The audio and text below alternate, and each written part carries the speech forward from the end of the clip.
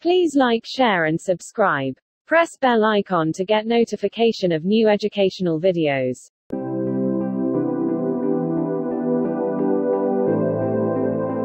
Hello everyone. You are all welcome to lecture number 487 and today I am going to discuss about phenolics and the topic is simple phenolic glycosides. The chapter phenolic is uh, having very broad meaning and it includes lot of structurally related glycosides where the aglycone is phenol.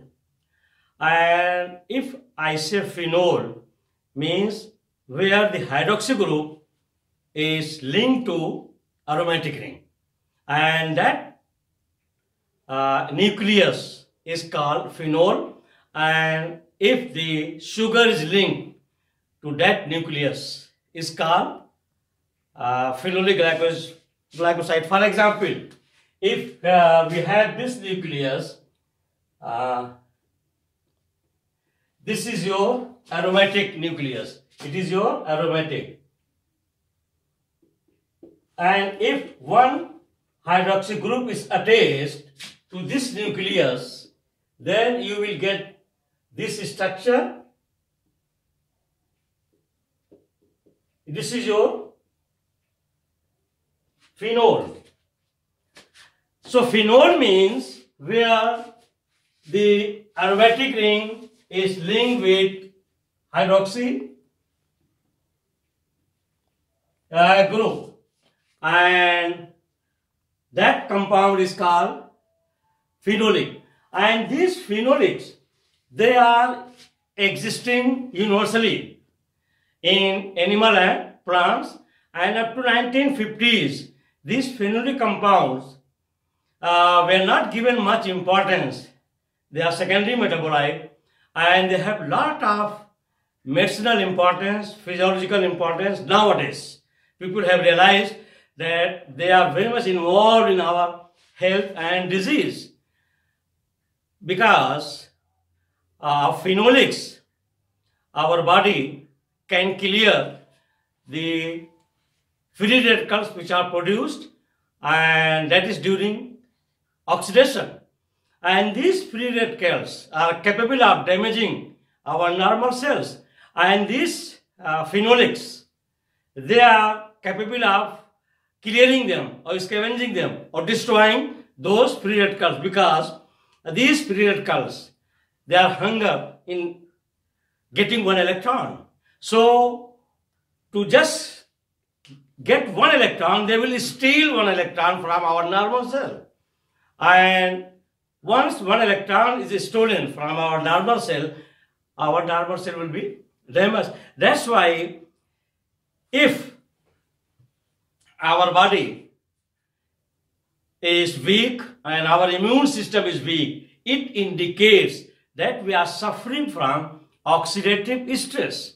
Means lot of free radicals are produced and they are not cleared. So in that circumstances, if we eat more fruit, more vegetables, they are these fruit and vegetables, uh, uh, I mean, uh, we can say complex carbohydrate also, a uh, lot of vegetable like cabbage, uh, like uh, your, uh, I mean this pumpkin, radish, brinjal, a lot of vegetables are there.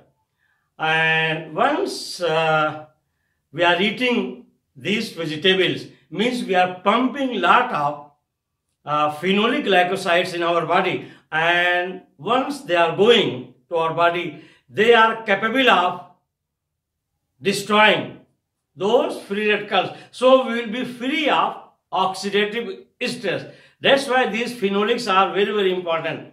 And these phenolics, there are different types. Sometimes they have two nucleus, sometimes three nucleus, sometimes they have aldehyde, sometimes they have ketone with phenol, phenolidyl glycoside, uh, catechin like in uh, your tea and even in your uh, uh, this French wine. French wine, which is having light pink color, is very important and at the same time it is medicinal. So what I am telling you, uh, this French wine, which is uh, fermented, and if this French wine is taken uh, by these French people, and at the same time they are taking lot of saturated, unsaturated fat, but they are not having cardiovascular problem. Lot of diseases are not there. It is only because of the fact that those uh, violet red color is full of phenolics. And these phenolics are taking care of oxidative stress and at the same time they act as uh, capillary fragility. Means they will provide the strength to the blood capillaries, make them strong so that uh, the chance of formation of uh, this uh, plaque or rupture possibility will not be there. Lot of diseases are linked to uh, these phenolics, for example, Alzheimer's, diabetes, they are all because of oxidative stress. So these phenolic uh, glycosides, they are very, very important and there is a specific test for presence of phenol. If you want to test whether that glycoside is phenolic or not, just take the alcoholic solution in test tube. Uh, in test tube, what you have to do uh, is your test tube and you have taken the alcoholic solution alcoholic solution of glycoside. And only side by test tube if you add uh, add FeCl3 alcoholic solution of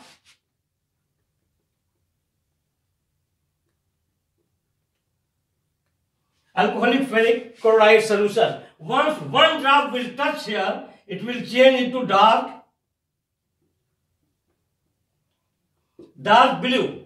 So changing that alcoholic solution of any glycoside into dark blue by addition of is a very sensitive test. By addition of only one drop of alcoholic ferric chloride confirms the presence of phenolic glycosides and phenolic glycosides they are having flavonoid group, catechin, chalcone, biflavonoid, anthraquinone, tannins. There are hundreds and hundreds of phenolic compounds, but I will be selecting and I will be giving the example of some most important ones which are uh, widely used and they have lot of physiological importance. And what is difference in uh, uh, phenolic and non-phenolic? Phenolic uh, compounds means they are acidic in nature. They are releasing proton. For example, the same hydroxy group, if it is attached like this, if you have one ring like this, and if OH is attached here, it is not aromatic ring. It is your cyclohexane. So one cyclohexane is there and hydroxy is attached. It is alcohol. It is your alcohol and the name of this alcohol will be cyclohexanol.